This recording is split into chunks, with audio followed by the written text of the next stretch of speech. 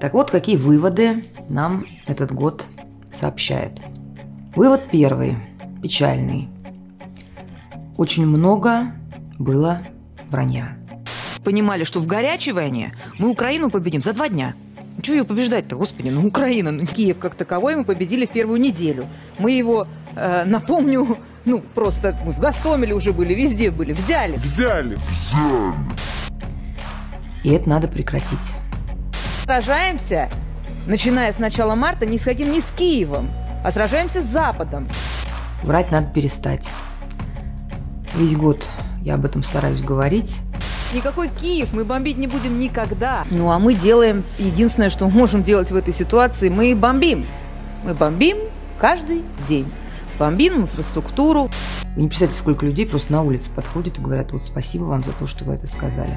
Люди, которые боятся какой-то Гааги. Послушайте, надо бояться проиграть, надо бояться опозориться. Я хочу сказать, что если мы умудримся проиграть, Гаага, условная или конкретная, ждет даже дворника, который брусчатку внутри за кремлевской стеной подметает. Прекратите врать.